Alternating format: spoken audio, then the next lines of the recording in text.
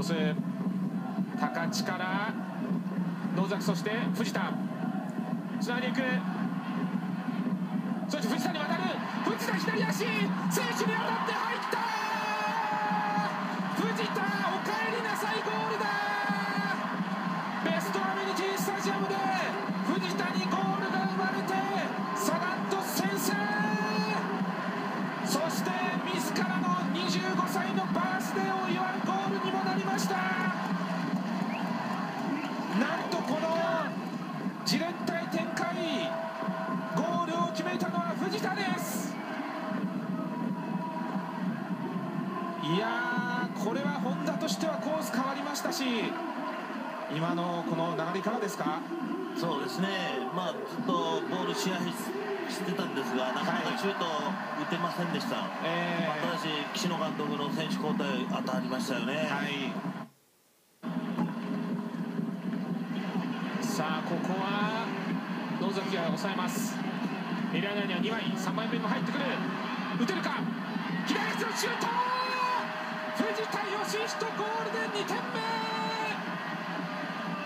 サガン鳥栖に2点目が入りました藤田義人はこれでホームでは2試合連続のゴール。勝負強さを見せました。2点目はサガン鳥栖です。今ワンチャンス生かしました。先制点なるのかサガン鳥栖。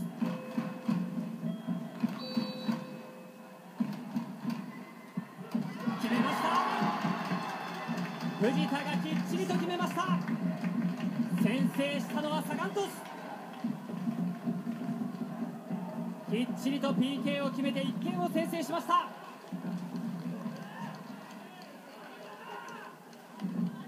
これで藤田は今シーズン3点目。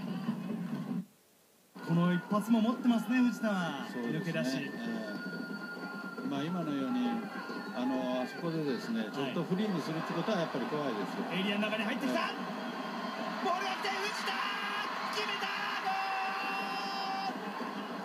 先制点は鳥栖前半の18分25番の藤田義人今シーズン4点目のゴールでサガン鳥栖が先制。藤田切り返して前に行こうというところキム・シンヨンが左サイド。向こうサイドには 10, 10番の高橋が入っている。キム・シンヨンキム・シンヨンエリアに入ったマイナスのボールが決まったまたも藤田前半の29分サガン鳥栖今日2点目を決めました。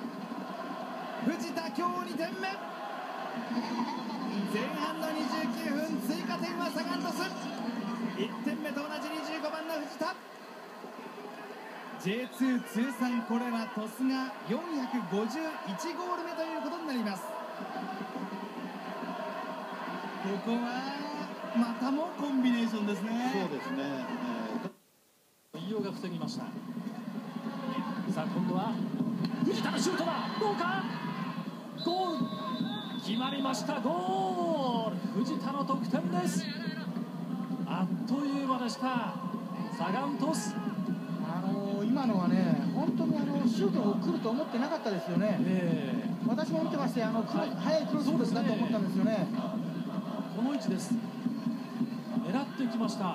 キーパーの古田反応したんですがボールはネットに吸い込まれました。いやーこの藤田の左足というのは素晴らしいですね。あのやはり点が取れるっていうのはやっぱりこういうところにやっぱりまずね、ええ。あのチャンスがあればやっぱ打つというストライカーの試合になりますがさあ今ゆっくりとボールをセットします藤田義人。今シーズンは1つ PK を決めていますがさあここは守りたいのはキム・ヨンギということになります。前半の34分藤田が決めた落ち着いてゴールを決めた先制はサガン鳥栖藤田が左の隅にしっかりと決めていきました。サガン鳥栖は川端のキム・シンヨンはいキム・シンヨンかわしに行くあーゴール左隅に決まりました。25番藤田先制ゴール。今シーズンこれで8得点目になりました。キム・シンヨンと藤田。いや、まあ、今キムの個人技素晴らしいものがありましたね。さっきは左サイドをやられて今回は右サイドなんですよね。ここをすぐに修正しなきゃいけないんですけど、はい、やっぱりコミュニケーションを取るしかないですね選手同士。という形で取れば、まあね、得点というシーンが見られたと思うんですよね。藤田そして高知からこれはいいボールだ広瀬。うんとしかし少し長いか追いつきます広瀬。エレアナには2枚。藤田のシュート!高知の後は藤田のシュート !2 対0真っ先に岸野監督と喜びを分かち合いましたエース藤田。3試合連続のゴールが生まれています。これぞエースという一発で仕留めました。服部さん今のシュートいかがでしょう？ねシュートね結構いっぱいいっぱいですよ。それをね逆の来た方向に返す、はい、このヘディングシュートですよね、うん、来た方向に返してましたね。やはり技術の高いシュートということになりますか？いやもう結構スピードがねあの、はい、クロスのボールありますから、えー、ジャンプのタイミング、うん、非常に難しい。さあ高知からのボール抜け出している。左足のシュート。決めたのは藤田義人。エースの一発で先制はサガン鳥栖。第1クール2ゴール。甲府に強いこの藤田義人が第2クールも決めました。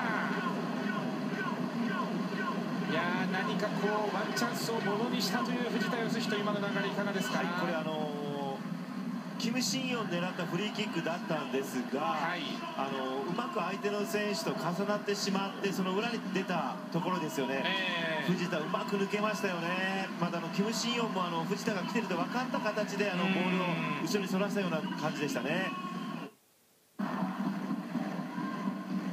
内間が蹴り出したボールレオナルドが待っている。ヘディングでそらしてさあ藤田義人が走り込んでくる。目の前にこぼれた。藤田義人流し込んで2点目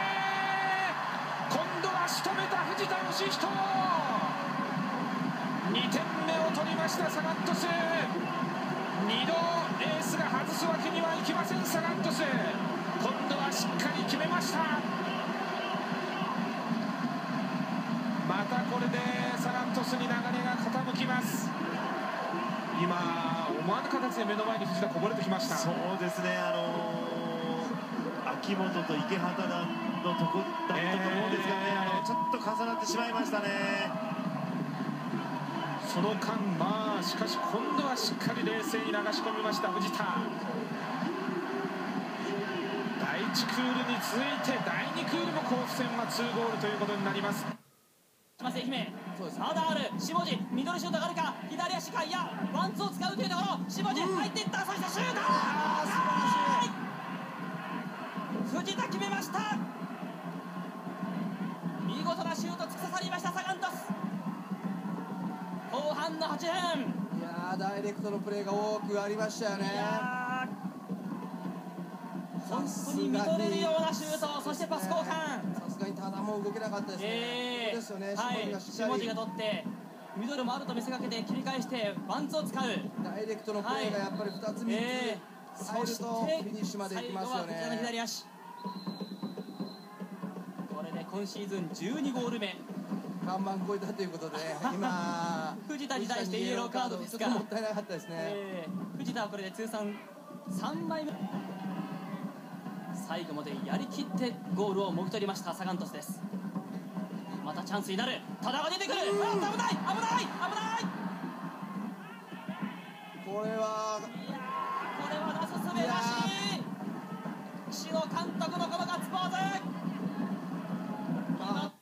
ここら辺ですよね。ここは前から取りに行きました。野崎。スピードがある。中に出してくる。藤田。藤田、うん。先制点はサガン鳥栖。まあ今のは山形のクリアボールから、はい、そうですね。野崎選手ですか？あのヒットとしたのは。完全に狙ってましたね後ろから。そうですね、はい、でアウトサイドでラストパス面白いボール出しましたね、はい、ディフェンスの背後に藤田は31節の愛媛戦愛のゴール、ね、ここですよね。入れ替わるような形になってこれ最後出したのは？野崎から藤田ですね、は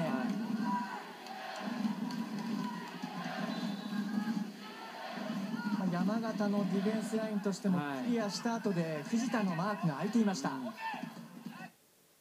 セットプレーの失点そしてパスカットされていい攻撃されて2点目と。あこれは1対1藤田シュートを決まった1点返しました鳥栖うんさすが得点感覚ありますね。今最後のシュートも左のアウトでキーパーの上向いてますんでね、あれ思い切り右足で蹴りに行くとちょっとキーパーに当たりそうな場面だったんですが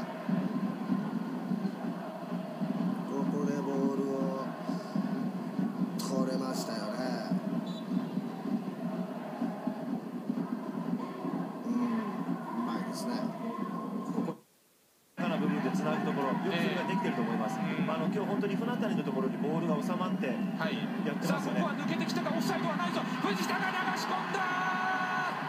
先制点はサガントス船谷のパスを受けた藤田が冷静に流しこし流し込みました。1対0いやここはホーム最終戦勝利に燃えるサガントスが先制。昇格のかかった重要な仙台はまずは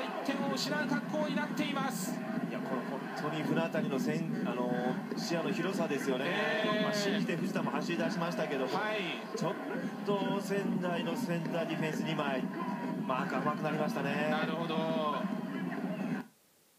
の左の田村のクロスを右のサイドバックの菅井がゴールを決めるというようなシーンもありますしその辺りは積極的な攻撃参加一つ持ち味であります。さあここは藤田が左足で流し込んだ。なんと3点目サガントスいや素晴らしい。藤田今日2点目仙台はこれは苦しくなった3点目。サガン鳥栖に入りましたしかしまだまだ諦めず声援を送っているサポーターの姿もあります。ベガルタ仙台。野崎から出したボールと受ける藤田ですね。このコンビネーション、はい、本当に素晴らしいところですよね。もう振り向いてワンタッチですからね、えー、これ藤田何気にやってるように見えますが非常にまあ、難しいというか技術あるプレーですよね。本当にそうだと思いますね。えー、本当にこのタイミングじゃないと枠に飛ばないよ、シーンですが1点返せば何が起こるかわからない。仙台ですがさあここは戸塚チャンスになるか。抜けてくるのは藤田義人が1対1藤田藤田が流し込んでダメ押しは4点目。仙台の息の根を止める4点目。サガントス藤田はハットトリック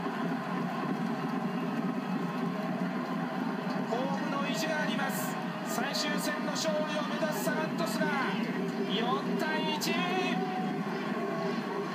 や藤田よく狙って落ち着いて決めましたよね、えー、これあのー、まあね体勢有利ではあったんですが一歩間違えればキーパーに当てることもありますしそういった意味では冷静に流し込みました。藤田ハットトリック仙台としてはこれはあまりにも痛すぎる。4点目を失っています